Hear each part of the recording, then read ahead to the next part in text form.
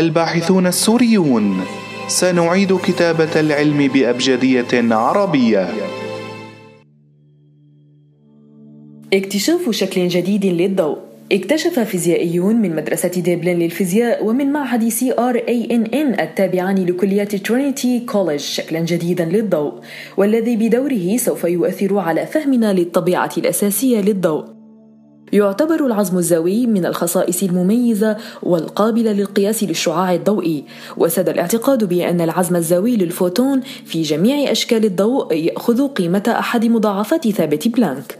لكن مؤخرا اكتشف مجموعة من الفيزيائيين وهم حملة شهادة الدكتوراه كايل بالانتاين والأستاذ بول إيستم وكلاهما من مدرسة ديبلين للفيزياء مع الأستاذ جون دونيغان من معهد سي آر إي إن إن. شكلا جديدا للضوء يأخذ فيه العزم الزاوي للفوتون. نصف قيمته المفترضة أي نصف مضاعفات ثابت بلانك وهذا الفارق على ضآلته إلى أنه عميق الأثر. يعلق البروفيسور بول على العمل الذي قام به الفريق. نحن مهتمون بإيجاد طريقة نجعل فيها الضوء يغير من تصرفه وإيجاد وسائل نجعل بها هذا التغيير مفيدا. أعتقد أن هذه النتائج مثيرة جدا وذلك لأن هذه القيمة التي تعتبر من الخصائص الأساسية للضوء والتي ظن الفيزيائيون أنها ثابتة يمكن تغييرها. ويضيف البروفيسور جون كان بحثي يركز على البصريات النانوية التي تدرس كيف يتصرف الضوء على المستوى النانومتري فالشعاع الضوئي يتميز بلونه أو طول موجته وقليلا من يستخدم عزمه الزاوي في تمييزه.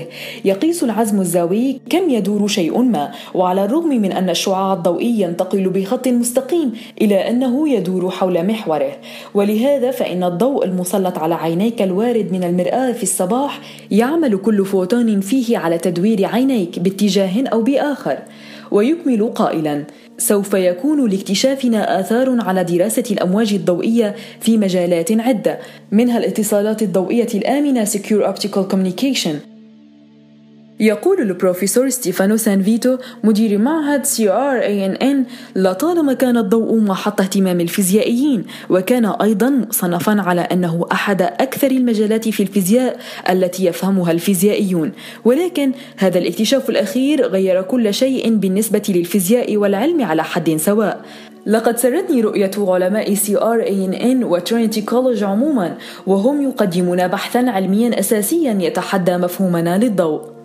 اعتمد الفريق لتحقيق هذا الاكتشاف على أثر اكتشف قبل 200 عام تقريبا في الجامعة نفسها. ففي ثلاثينيات القرن التاسع عشر اكتشف الفيزيائي هيمفري لويد والرياضي ويليام براون هاملتون أنه عند تمرير الضوء عبر بلورات معينة فإن الضوء يأخذ شكل أسطوانة مجوفة.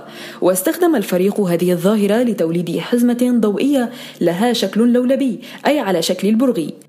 واستطاع الفريق بتحليل هذه الأشعة بحسب ميكانيكا الكم التنبؤ بأن العزم الزاوي لفوتون ما يمكن أن يكون نصف عدد صحيح. فابتكروا تجربة تسمح لهم باختبار النتيجة التي وصلوا إليها. وباستخدام آلة مخصصة بنوها لغرض قياس العزم الزاوي استطاع الفريق حساب تدفق العزم الزاوي لحزمة ضوئية. واستطاعوا أيضا قياس التغيرات في هذا التدفق الناجمة عن التأثيرات الكمومية. وأظهرت التجربة تجربة انزياحا طفيفا في العزم الزاوي لكل فوتون بلغ نصف ثابت بلانك.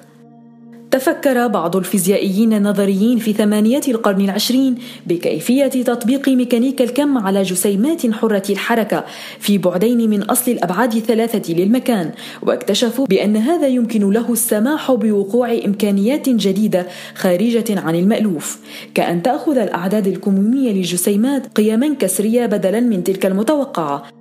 العمل الذي قام به الفريق أثبت وللمرة الأولى أن هذه التكهنات حقيقية ويمكن مشاهدتها مباشرة لدى الضوء.